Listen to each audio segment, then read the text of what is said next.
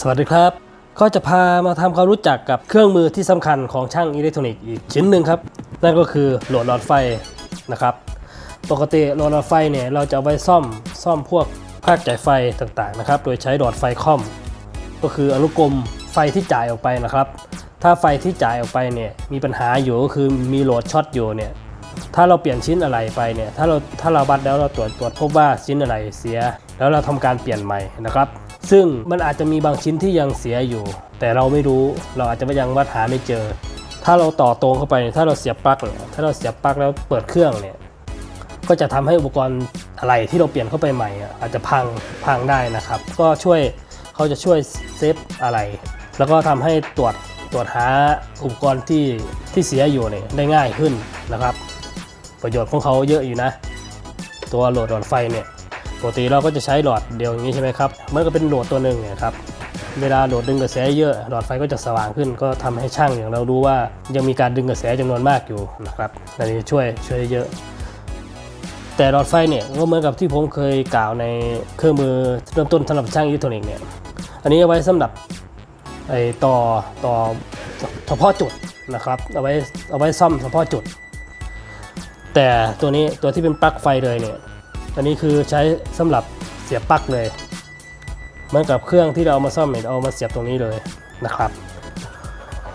ก็แล้วแต่แล้วแต่ท่านนะว่าจะ DIY ยังไงนะครับ แล้วแต่ท่านว่าจะ DIY ยังไง จะวางรูปแบบยังไง จะตั้งลักษณะยังไง อันนี้ก็แล้วแต่ท่าน เดี๋ยวผมจะมาอธิบายวงจรตัวนี้เผื่อบางท่านก็ยังไม่รู้นะครับ ว่าเขาทำงานยังไง มีวงจรยังไง ราะว่าบางท่านก็อาจจะยังไม่รู้มือใหม่เริ่มต้นใหม่ก็ยังไม่รู้ว่าคืออะไรยังไงนะครับ แต่ถ้าเป็นหลอดไฟอย่างนี้ก็ง่ายใช่ไหมแต่ถ้ามีสวิตช์สวิตช์ต่อหลอดไฟสองหลอดอย่างเงี้ย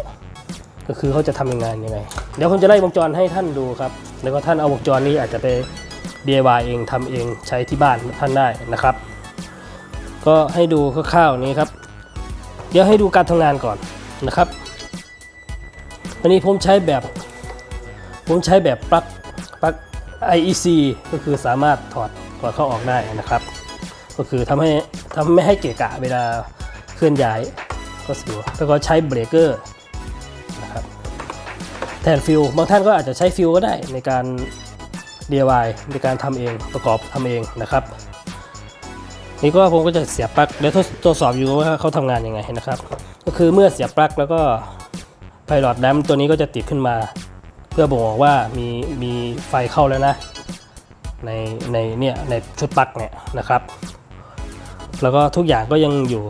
สวิตช์ตัวนี้ก็อยู่ที่ที่ที่ออฟนะครับ เมื่อเราออนไพลอตแดมตัวนี้ก็จะติดขึ้นมานะครับ ก็คือไฟก็จะจ่ายจ่ายออกปลั๊กแล้วนะครับแล้วปิดก็คือไม่มีไฟออกจ่ายออกจากปลั๊กส่วนตัวนี้ก็มีหน้าที่ก็คือโหลดก็คือนี่แหละครับผ่านหลอดไฟ ถ้าถ้าโนโหลดก็คือต่อตรงเลยไม่ผ่านหลอดไฟนะครับ ก็คือต่อตรงนี่แหละต่อตรงออกไปเลย แล้วตัวนี้ก็เลือกแล้วว่า 1 2 ก็คือเลือกว่าจะเอา1หลอด ผ่าน 1 หลอดหรือว่าผ่าน 2 หลอดนะครับตัวตัวตัวสวิตตัวนี้ ถ้าผ่านผ่าน 1 หลอดมันอาจจะมันอาจจะไม่พอกระแสที่จ่ายให้ให้กับเครื่องที่เรามาเสียบเนี่ยมันอาจจะไม่พอมันอาจจะติดดีๆ ขึ้นมาหรือติดสว่างขึ้นมาทำลักษณะเหมือนช็อตแต่ที่จริงไม่ช็อต เพราะว่าเครื่องที่เรามาเสียบนี่อาจจะดึงกระแสเยอะอยู่ เพราะฉะนั้นเราก็ต้องใช้ 2 หลอดเพื่อเพิ่มกำลังวัตต์เพิ่มกำลังวัตต์ที่จ่ายกระแสไปให้เครื่องที่เราเอามาเสียบปลั๊กนะครับผมจะเทสทดสอบให้ดูตัวตัวอย่างนะครับ ก็คือตัวนี้ก็ยังอยู่สวิตช์ก็คือผ่านโหลดแล้วก็ผ่านหนึ่งหลอดไปก่อน แล้วก็อันนี้ต้องออฟอยู่นะครับนี่ผมก็เสียบ นี่ก็สมมติว่านี่นะครับสองเส้นลายกับนิวตันเนี่ย เราไปต่อเข้ากับเครื่องอยู่ อาจจะอาจจะเป็นหม้อแปลงไฟฟ้าเป็นภาคจ่ายไฟ switching หรืออะไรก็แล้วแต่นะครับลายกับ neutral ตัวนี้นะนะครับนี่ลายกับ neutral ตรงนี้ ทีนี้เมื่อเราเปิดเครื่องนะครับนี่เมื่อเราเปิดสวิตช์ตัวนี้ on ใช่ไหมถ้าเกิดโหลดมีปัญหา ถ้าเครื่องที่เราซ่อมอยู่ภาคจ่ายไฟที่เราซ่อมอยู่หม้อแปลงช็อตหรือว่า switching ช็อตอยู่นี่ก็จะทำให้เรารู้ได้เลยก็คือนี่ครับเขาก็จะติดขึ้นมาหลอดไฟก็จะติดขึ้นมาอย่างนี้ อาจจะติดดีๆหรือติดเยอะ แต่ถ้าถ้าติดสว่างมากอย่างนี้ก็แสดงว่าช็อตมากนะครับ ก็คือเครื่องที่เรามาซ่อมเนี่ยที่เรามาเสียบเนี่ยคือช็อตมากนะครับ ก็ทำให้เรารู้ได้เลย ทีนี้บางทีก็อาจจะติดมาอย่างนี้แต่เครื่องยังไม่ทำงานทำลักษณะเหมือนช็อตเราก็ไม่ไม่พอใช่ไหมเราก็ต้องผ่าเอาเลือกไปสักสองหลอดนะครับ ให้ผ่านไป 2 หลอดเพิ่มกระแสนะครับ ถ้าเครื่องมันช็อตก็จะติดอย่างนี้ครับติด 2 หลอดเลยนะครับอย่างนี้ ก็ทำให้เรารู้ได้ว่าโอ้เครื่องที่เราซ่อมอยู่ยังยังไม่หายช็อตยังมีอุปกรณ์ที่เสียอยู่ เราต้องทำการไล่ไล่ตัวจเช็คใหม่นะครับประมาณนี้แหละการทำงานของเขาแค่นี้เองไม่มีอะไรยุ่งยากครับ เดี๋ยวแกะแกะดูภายในครับ เดี๋ยวจะให้ดูวงจรแต่บางท่านก็ยังอาจจะยังไม่รู้ก็สามารถเอาไปทำ ทำใช้ที่บ้านหรือทำทำใช้ที่ทำงานหรือที่ไหนก็ตามสะดวกตามสบายครับ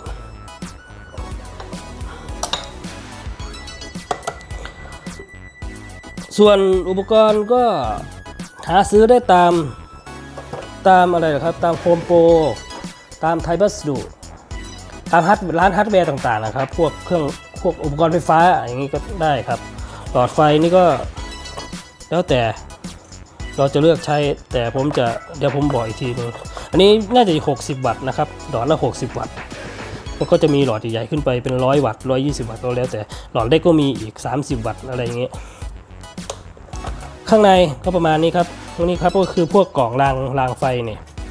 เราก็ไปหาซื้อที่ร้านฮาร์ดแวร์ร้านไทยพัสดุร้านโฮมโปรอะไรอย่างเงี้ยมีครับหาซื้อได้สะดวกพวกสายไฟพวกอะไรอย่างเงี้ย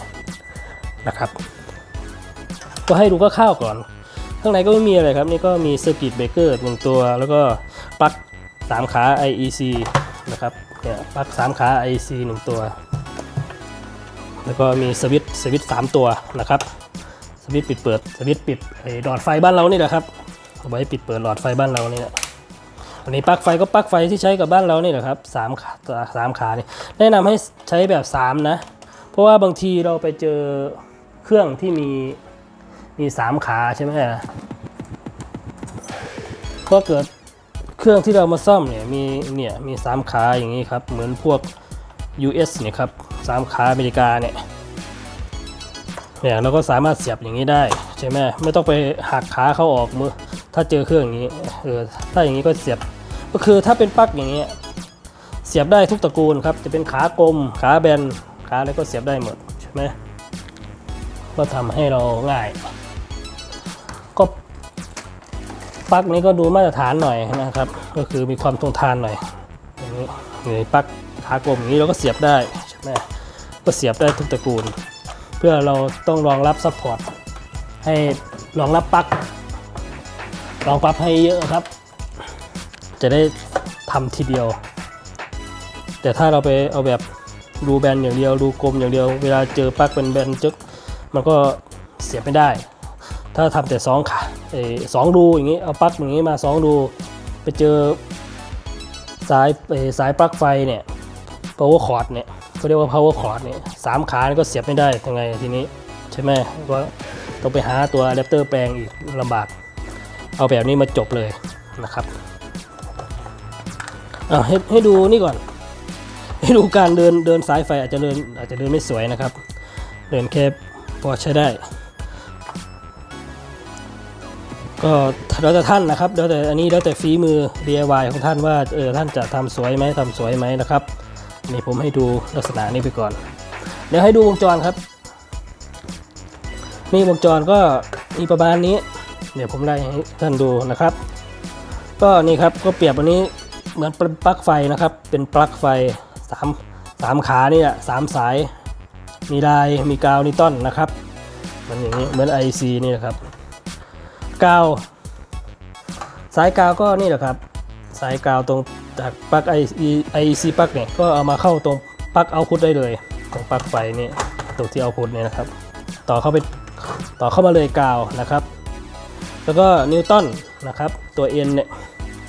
ก็มาต่อเข้าที่ปลั๊กนี้เลยปลั๊กเขา output ออกเลยเนี่ย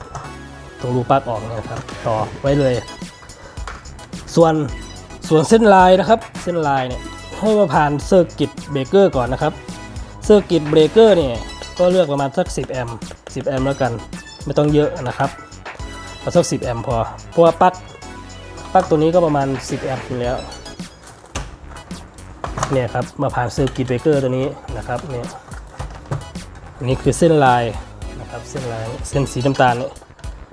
มาผ่านเซอร์กิตเบรกเกอร์นี่ครับ ก็มาทางนี้ มาผ่านเซอร์กิตเบรกเกอร์ก็มาเข้าสวิตช์นะครับเห็นไหมครับเขาจะมาเข้าสวิตช์ตรงนี้เขาจะมาเข้าขาสวิตช์ตรงนี้สวิตช์ตัวแรกเนี่ยสวิตช์สำหรับon off เนี่ยสำหรับปิดเปิดเนี่ยนะครับ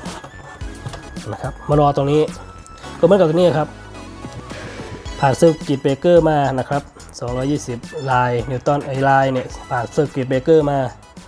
แล้วก็มารอรอตรงสวิตช์ตัวแรกตัวสำหรับ on off นะครับ ตัว pilot lamp เนี่ย ตัวแรกเนี่ย ที่ว่า in เนี่ยครับ เห็นไหม เมื่อเราเสียบสายปลั๊กเข้ามาเนี่ยเขาก็จะติดเลยก็คือทำให้เราตรวจเช็คได้ว่า มีไฟเข้ามาแล้วผ่านเซอร์กิตเบรกเกอร์แล้วนะครับเนี่ยตัว pilot lamp ระดับแรกติดสว่างให้เรารู้ว่าอ๋อมีไฟเข้าในระบบโหลดเราแล้วนะนะครับนี่ครับตอนเรายังไม่ on ใช่ไหมพอเรา on นะครับสวิตช์ตัวแรก ตัวนี้เลยนะ ตัวนี้ครับเนี่ย on มาปุ๊บนะครับ พอออนมาปั๊บนะครับ เส้นไฟสายลายก็จะมาผ่านหลอดไฟตัวแรก มาผ่านตัวแรกก่อนสนวนตัวนี้ ตัวนี้เป็นออนนะครับ ตัวนี้เป็นออนก่อน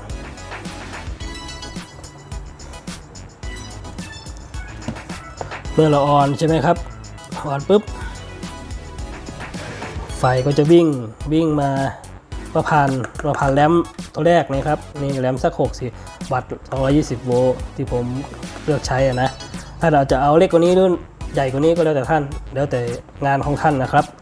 แต่ถ้าเป็นงานแค่เครื่องเสียงหรือเครื่องอะไรต่างๆ ธรรมดาซ่อมพวกอิเล็กทรอนิกส์ทั่วไปก็ 60 วัตต์นี่ก็เหลือๆนะครับ แต่ถ้าเป็น power amp ที่เป็นพันวัตต์2,000 วัตต์ก็อาจจะใช้หลอด เยอะกว่านี้หรืออาจจะเพิ่มเพิ่มจำนวนหลอดไปอีกหลายๆหลอดนะครับนี่ครับเขาก็จะมาผ่านหลอดไฟที่ 1 ก็คือแรมหนึ่งนี่ครับผ่านไปเลย ก็เบิกออกขั้วนี่เลยขั้วปลั๊กไฟนี่ออกไปเลยนะครับ ก็คือถ้าเราแค่กดออนอย่างนี้ไอ้พวกนี้ยังไม่กดเป็น 2 หรือยังไม่ผ่านโนโหลดนี่ก็เขาผ่านหลอดแรกอยู่แล้วก็คือติดหลอดแรกอยู่แล้วนะครับ ทีนี้ พอเราจะ อันนี้คือใช้หลอดแรกใช่ไหมติดหลอดเดียว ทีนี้เราจะเลือกใช้ 2 หลอด แล้วก็มาออนสวิตตัวนี้ครับมาออนให้เป็น2นะครับปกติเขาจะอยู่อย่างนี้ นี่พอเรากดออน2เนี่ยตัวนี้ก็จะเป็นปิดนะครับ ปกติเขาจะเปิด ปกติเปิดไว้ก็คือ Open Circuit ไว้นะครับเนี่ยก็คือให้เขาปิดวงจรไป ก็คือต่อแล้วนะครับ ทีนี้ เส้นลายเนี่ยนะครับก็จะผ่านสองสองหลอดเลย อันนี้คือผ่านหลอดแรกก็คือผ่านไปแล้วลำดับแรก ทีนี้พอเราออนสวิตตัวนี้ก็เขาก็ไม่ผ่านตรงนี้ก็ครบวงจรมาหาเนี่ยครับมาหาขั้วมาหาขั้วลายตรงตรงออกนะครับแค่นี้เองก็ผ่านไป 2 หลอดแล้วนะครับ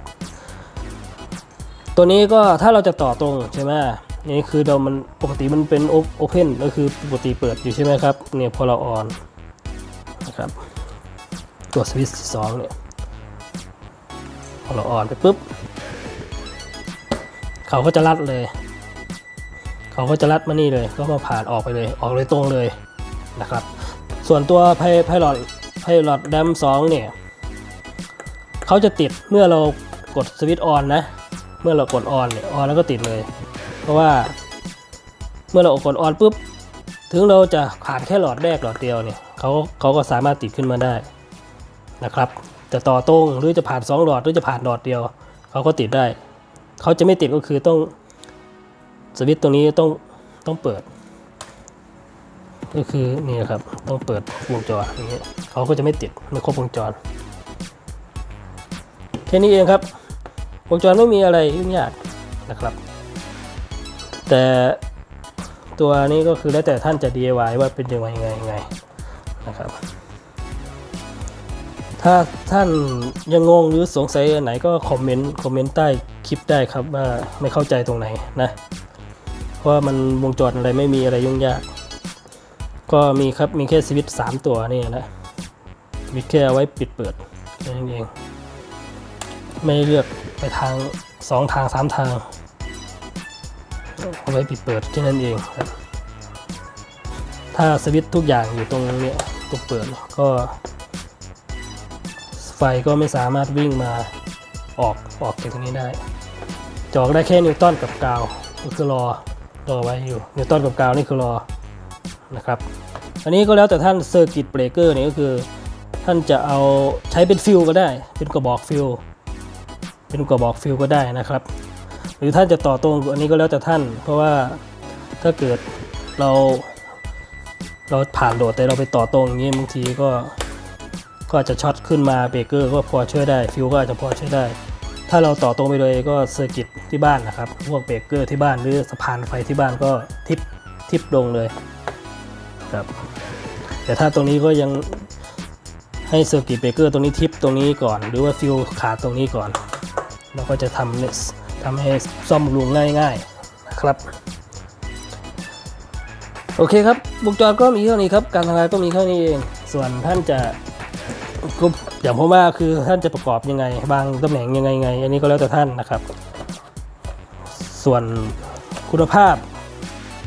คุณภาพอุปกรณ์ที่เอามาประกอบนี่ก็แล้วแต่แล้วแต่งบท่านนะ แล้วแต่งบท่านปลั๊กไฟครับเพราะว่าพวกนี้มีการถอดเข้าถอดออกบ่อยๆเราก็ต้องใช้ปลั๊กอย่างดีหน่อยนะครับพวกสวิตช์อย่างนี้เหมือนกันเรากดเรากดบ่อยๆ แล้วก็อาจจะใช้มียี่ห้ออะไรผมก็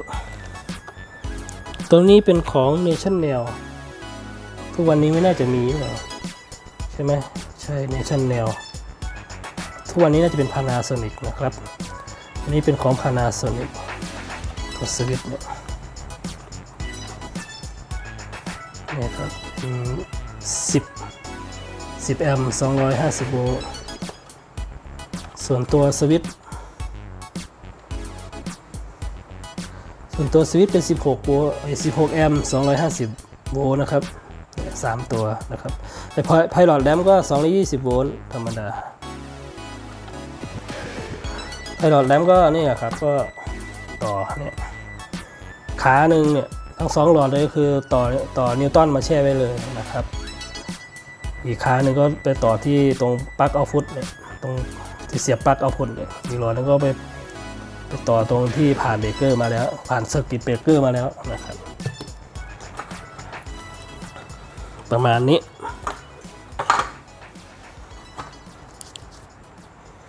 เนี่ยเซอร์กิตเซอร์กิตเบรกเกอร์ก็ก็ดีครับเวลาทิปแล้วก็กดเอาเลยเลยนะครับเซอร์กิตเบรกเกอร์นี่ก็สามารถกดรีเซ็ตได้ ถ้าเป็นฟิวส์ถ้าถ้าเกิดฟิวส์ขาดแล้วก็ต้องมาหามาเปลี่ยนใช่ไหมก็อาจจะ ลำบากหน่อยนึง แต่ถ้าเป็นเซอร์กิตเบรกเกอร์ค่อยกด trip trip ออกมา แล้วก็กดรีเซ็ตได้ กดรีเซ็ตปุ๊บเขาก็ทำงานต่อได้นะครับ อันนี้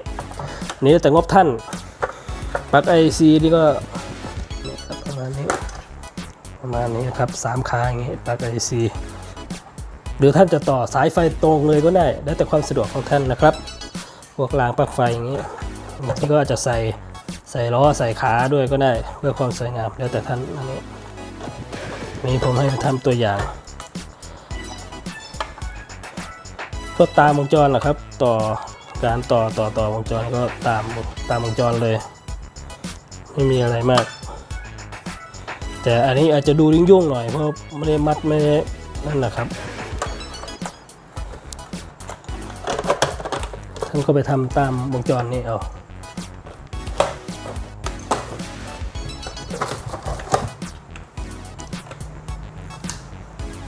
ครับโดดหลอดไฟก็มีประมาณนี้นะครับ ขอบคุณที่รับชม หากชอบคลิปนี้ก็ฝากกดไลค์กดติดตามด้วยนะครับ เจอกันคลิปหน้าครับ สวัสดีครับ